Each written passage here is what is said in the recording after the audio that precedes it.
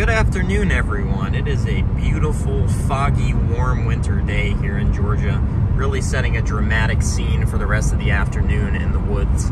And uh, we're actually going to do something very different today. We're going to look for a species of salamander that I have never seen. One of relatively few that we have within a couple hours driving distance of home, and this one actually lives in Georgia. So that's going to be the main target for the night. We have to drive a couple hours north to the mountains of northwest Georgia, and uh, I will check in with you guys when we get there. It's supposed to drizzle on and off for the remainder of the night, but it's going to be really warm. Might even be some snakes out, honestly, with the temperatures we're going to have tonight. It's going to be in the high 60s after dark, so fantastic weather for amphibians and potentially even some reptiles. So I'll check in with you guys when we get to where we're going.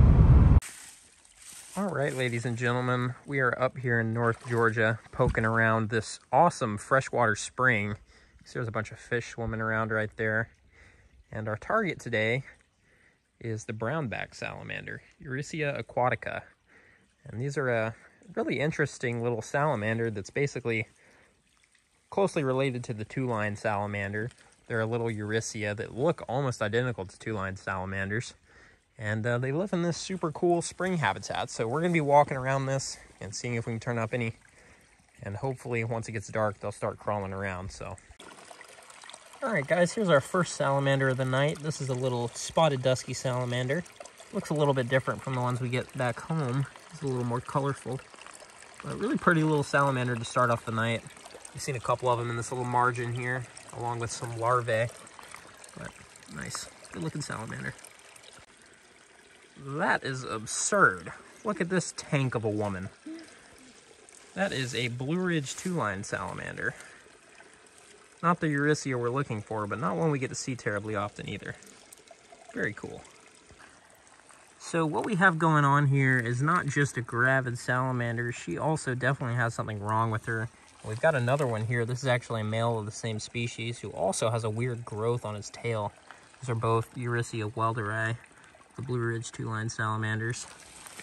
And not fantastically healthy examples of the species, as you can see. So we're going to poke around here a little bit more and see if we can find a more healthy-looking individual, because these two are both a little bit busted up. Not sure entirely what's wrong with it, but probably something hormonal. That's what I was told when I found a similar-looking salamander before. It's Here's probably... A healthy female? Yeah. Nice. All right, so Yachtin's got a healthy female here normal looking. She's also got a little beat up tail though, and mm -hmm. beat mm-hmm. up on her leg. Look at that, dude. That's wild. But she doesn't have that kind of weird Yeah, it's not distended. There's three yeah. of these right here in this one little area. So here's a more healthy, really the first really healthy looking Eurycea we've seen tonight. Doesn't really have any obvious deformations, but this is another Blue Ridge two-line. Definitely the most common salamander. He does have a little bit of something going on on his tail tip. Super weird.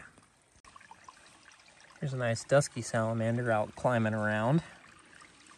This is Conanti, the spotted dusky salamander.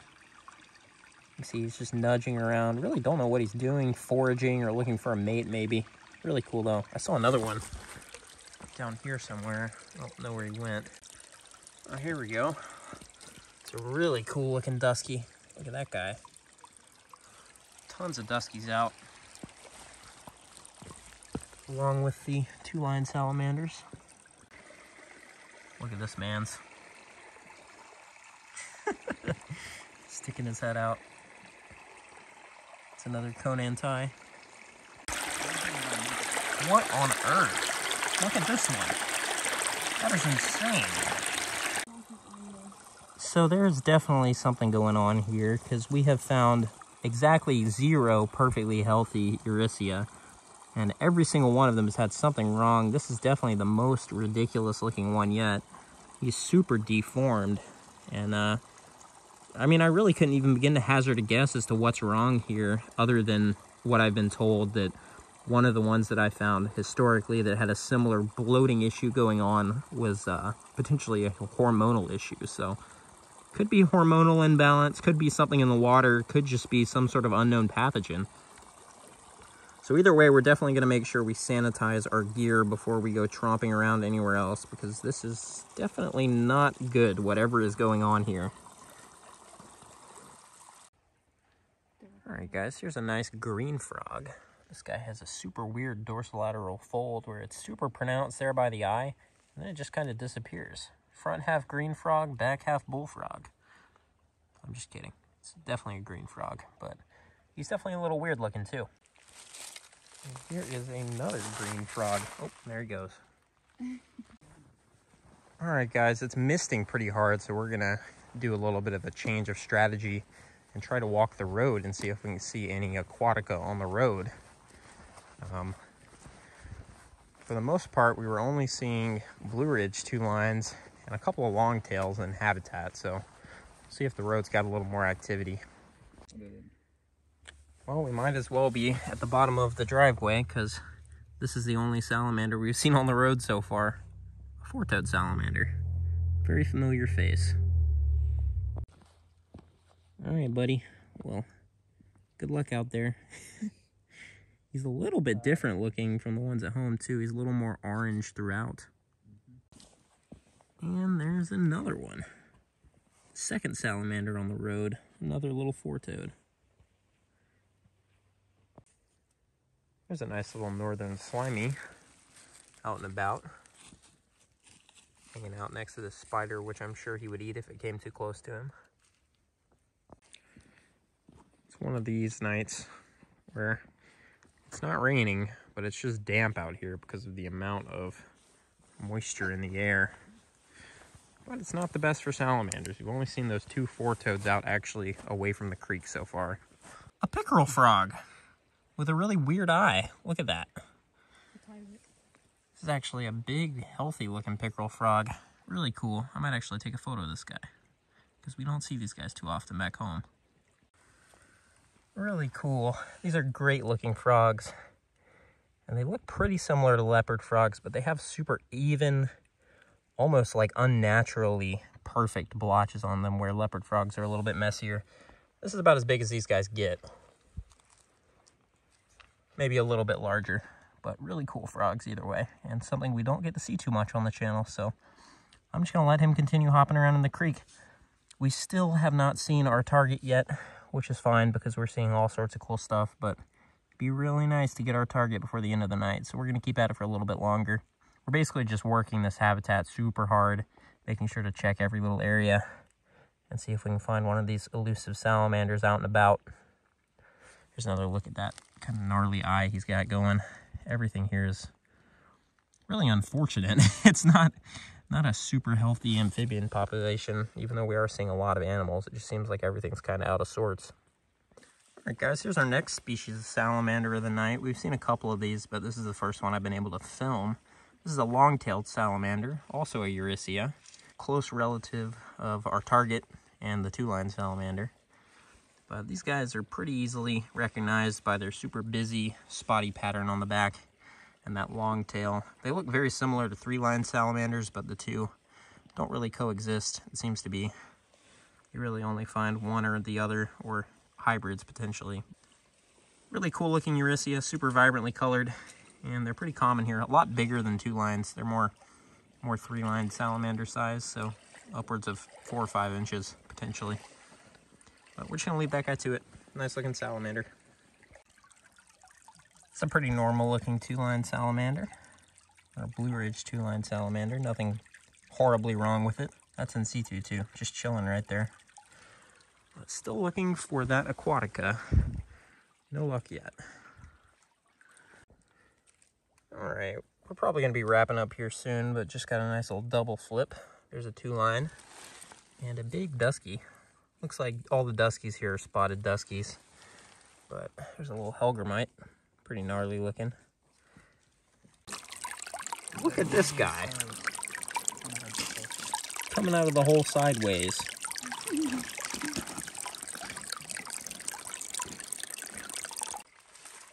Look at this guy. Holy crap. That is a big, beautiful longtail salamander. That thing is amazing.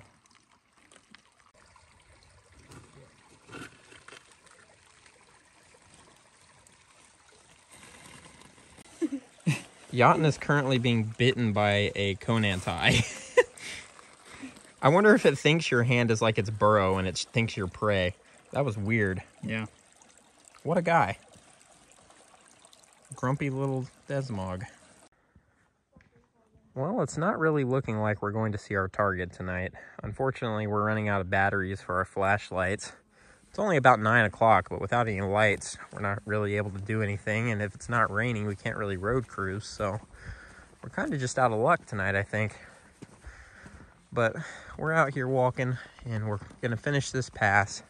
And we get back to the car, we're going to cruise our way home. And we'll watch for stuff on the road, of course, but it doesn't look like we're going to be finding our brownback salamander tonight. But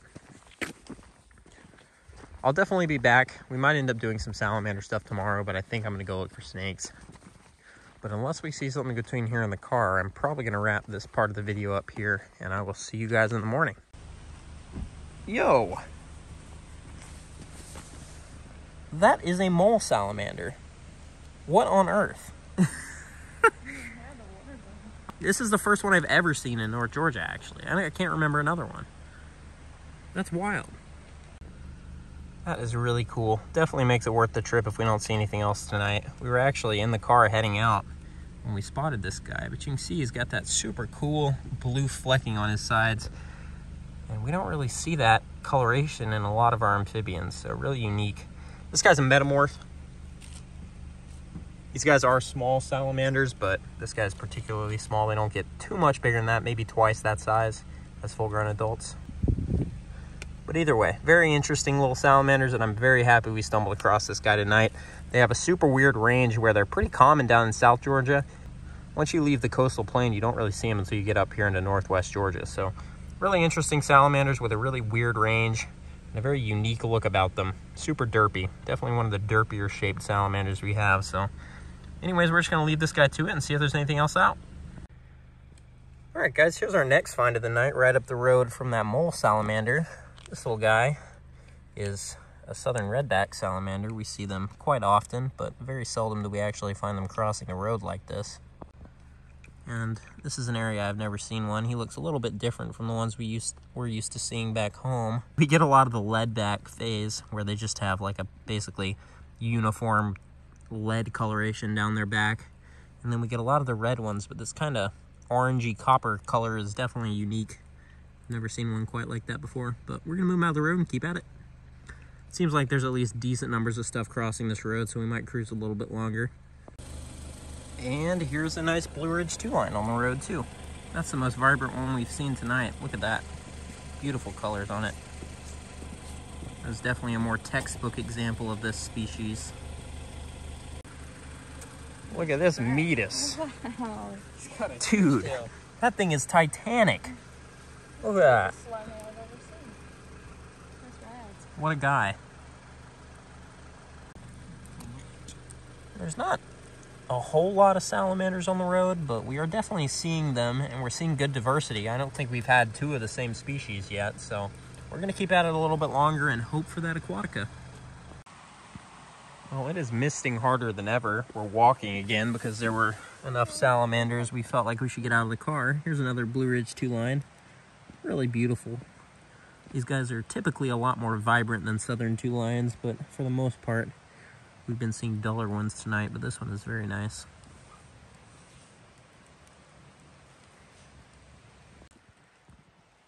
Not a wood frog.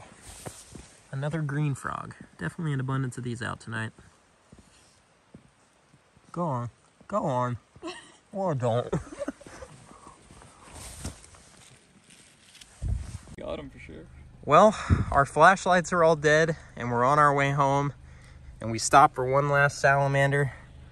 And that's the one right there. That is the brownback salamander, Eurycea aquatica. And it looks like, honestly, that one doesn't really look messed up. I think it's just fat. That might just be a legit gravid female.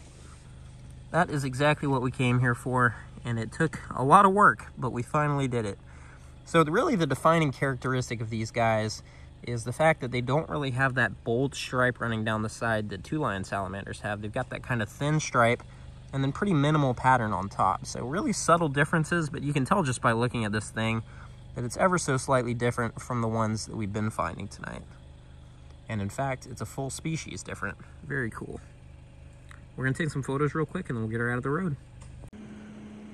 All right, ladies and gentlemen, well, we took a few photos of this beauty. I've been talking about these guys all night, and now that you finally get to see one, you're probably like, well, that's just a two-line salamander. And I am very happy to see this girl after a long night of finding Blue Ridge two lines. So definitely not complaining about how the night's gone. We saw some awesome salamanders and ended the night with our top target. So we're just gonna let this girl move off the road and we're gonna finish the long drive home.